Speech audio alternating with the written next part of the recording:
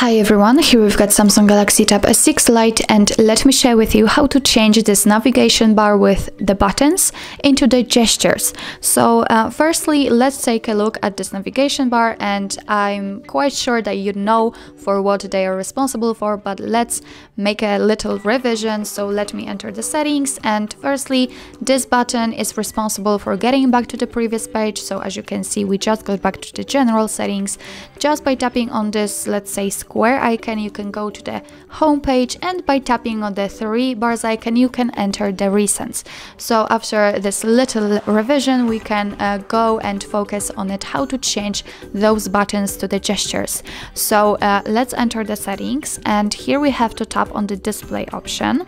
Now let's scroll down in order to find the navigation bar. So let's tap on it.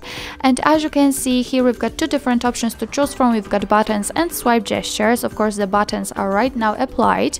Under it, we've got the button order, so you can change the position of particular uh, buttons. So of course, it's up to you if you'd like to uh, leave the buttons if not, uh, just tap on swipe gestures and as you can see right now it is activated, it is marked.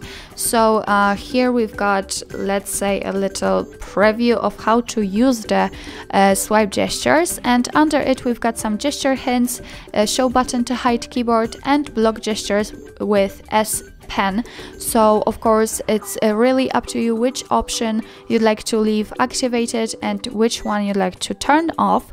So um, I will leave it like this. I won't move it actually and uh, all I will do is tap on more options because here I can show you another options which we can choose.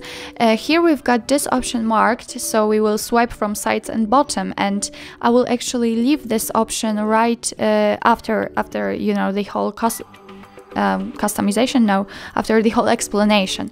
And uh, next to it we've got swipe from bottom. So as you can see here we will have three different areas which will be responsible for particular um, buttons. So uh, here we will be able to swipe. Uh, actually let me activate that and show you.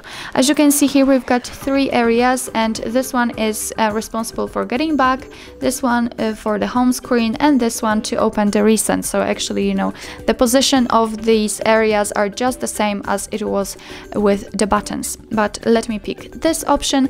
And as you can see here, we've got also the gesture sensitivity. So uh, by swiping, you can choose the sensitivity you'd like to use. It's up to you. And here we've got some notes that if you're using a case, it might be difficult uh, to do the back gestures uh, at the edge of the screen, so choosing a higher sensitivity might help. And if you sometimes do the back gesture un unintentionally, try a lower sensitivity. So actually you will have to try everything and check how, how intensive you would like to set the gestures. So actually that's all and now let me show you how the gestures work. Of course, as I said here we've got the preview and uh, but I will uh, show you how to actually use it. So uh, by swiping very up we can go back to the home page as you can see it's quite easy. Uh, now let me enter the settings again for for example notifications.